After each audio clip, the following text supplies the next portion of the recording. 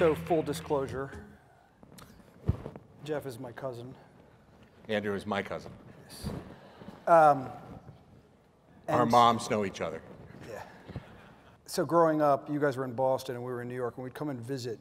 I think you were already out of the house, either at college or away working or something like that. Doing time. Doing time. And uh, as soon as I could get away from the adults and sneak off, I'd go up to your room because you had boxes and crates and crates of comic books, like full series They and still do. They're, they're Yeah, still in all that. That's why I can't park my car in the garage. So I got introduced through, to your world through that initially and read about it, but why, how did you become so passionate about comics and the world of superheroes? Uh, my mom got divorced at a time when people didn't know what that meant. So it was very confusing. I was 10 years old, and the world turned upside down. My dad didn't live at home anymore. I didn't really understand what was going on. And so my mother thought it was a good idea to take a vacation in Cape Cod. And uh, we rented a house, and up the street was a, literally a general store. And at the general store, there literally was a spinner rack. And uh, I found these comics. And I, in that world, I discovered a place where people had problems, but by the end of the story, they resolved them, and the hero won. And as we always used to say, like Peter Parker would defeat Dr. Octopus, but then not get home in time in order to pay the rent. Uh, and so that those were the kinds of stories that I fell in love with. I remember you did a couple major, wrote a couple of major motion pictures. I graduated. I went to Columbia Film School. Uh, left, went to LA. Didn't know anybody, uh, and in a relatively short amount of time, wrote uh, a little movie called Teen Wolf with Michael J. Fox, and then at the same time wrote another movie, which uh, Arnold Schwarzenegger starred in called Commando, uh, and uh, and they both came out in 1985, and so if you were a 15 year old boy living in the United States in 1985, I'm a god. Uh, because you spent that summer, you started watching Back to the Future, you went to go see Teen Wolf, and then you finished the summer watching Commando. And so, two out of three, thank you. And, I and I just thought that's how it was going to be. Like, I'd write a movie and they'd make it. That's, at the beginning, it seemed that way. And then there was a long period where it wasn't.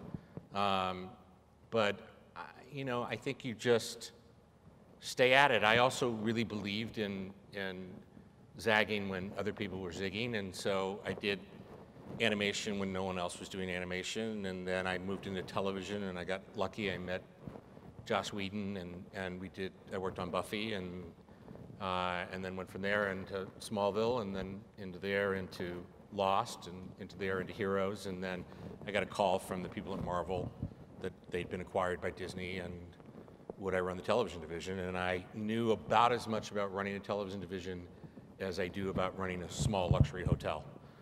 I got lucky. I just like to tell stories. Great transition. Well done.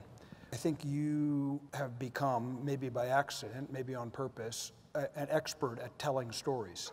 And stories are what define brands. How do you see your storytelling skill as defining brands? My dad would tell stories. My dad had a story for everything, largely to explain where he was.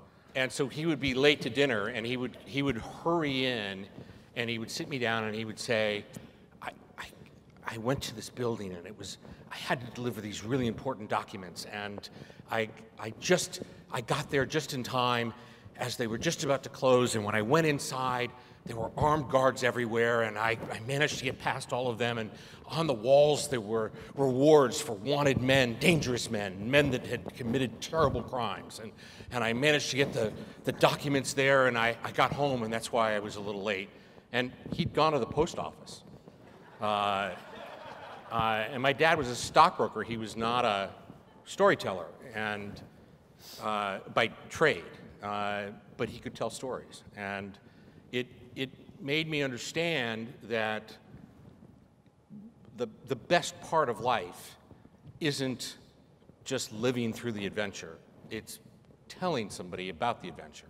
And so I think the idea is always to, in terms of lodging, I mean, I haven't really thought about this, uh, but it's to find the story, which is not what you're selling, but the story that the people who leave are going to tell the next person. What is the story you want them to tell?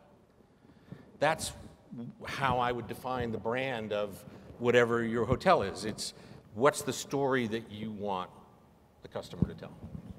Marvel has a real cult following, I think.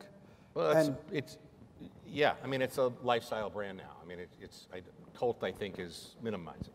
Okay, so how you didn't create the brand initially, no. but, but you have had a strong hand in promulgating it. So how do you see it moving forward? And you just said it's, a, it's more of a lifestyle. At the end of the day, there's, there's two things that we try to do. We try to tell stories about hope, and we try to tell stories that are aspirational. We tell stories that the best is to start with Iron Man, which is Tony Stark is literally and figuratively a man without a heart. And so they tear out his heart and they shove him in a cave, and he has to do the one thing he cannot do, and that is he has to learn how to communicate with this other scientist. And out of that communication and out of that ability to transform from being, to be perfectly honest with you, a giant asshole, uh, he comes out of the cave not because someone came and moved all the rocks out of the way and saved him, but because he comes out as Iron Man, a man who is entirely covered in iron, but then can communicate better with people. And in the same kind of way, Jessica Jones was a story about a woman who drinks and, and is irascible and not anybody would really want to be her friend, but then you find out the story is, is that men have abused her, and one man in particular is, is terrible to her, and that PTSD is turned into what she is.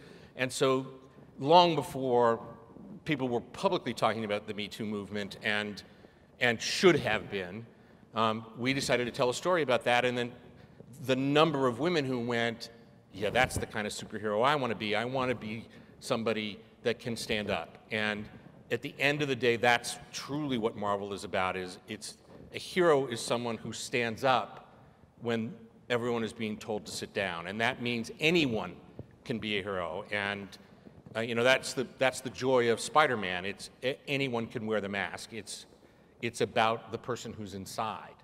Uh, and if you if you believe that helping someone is better than hurting them, then you'll succeed. And that's the story that we tell over and over and over again. And it's amazing that it's a story that people want to hear. And so I think that has a lot to do with the success of it. Who, who's your favorite character and why do you like them so much? The answer that I generally come up with is, is the Hulk, just because it's, it's such an easy thing to understand that inside all of us is this tremendous amount of rage. Uh, and Bruce Banner gets to let it out and, and you know, throw a car in the East River when there's a lot of traffic. Uh, and that's really all I've ever wanted to do is just when a guy honks at you to be able to get out of the car and just punch through, grab the engine and just throw it in the East River and just go, have a nice day, get back in my car and drive away. Awesome. Yeah, I have issues. It's great. when you're traveling, what gets you excited and what do you value when you go stay at a hotel? My family has come to know that when we get to the room, don't unpack. Like you got to wait because I'm gonna, I'm gonna change rooms. I just, I'm that guy. Uh, so, uh, and that's just largely based on a little bit of spider sense, which is, you know, is this gonna work? I love great service. I, I love the people that are at the front desk that are, that are just happy and you know they're glad to see you and they act as though I, my favorite thing is to walk into a hotel and they go, Welcome back. And I go, I've never been here, but I just love that. I like to stay in a hotel that's nicer than my house, and I live in Beverly Hills.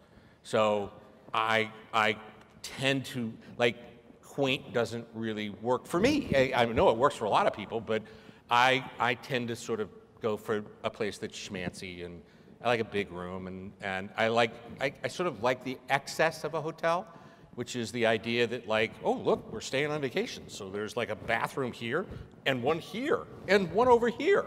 Uh, and there's just two of us. Uh, so, I, you know, there's that, and room service all the time.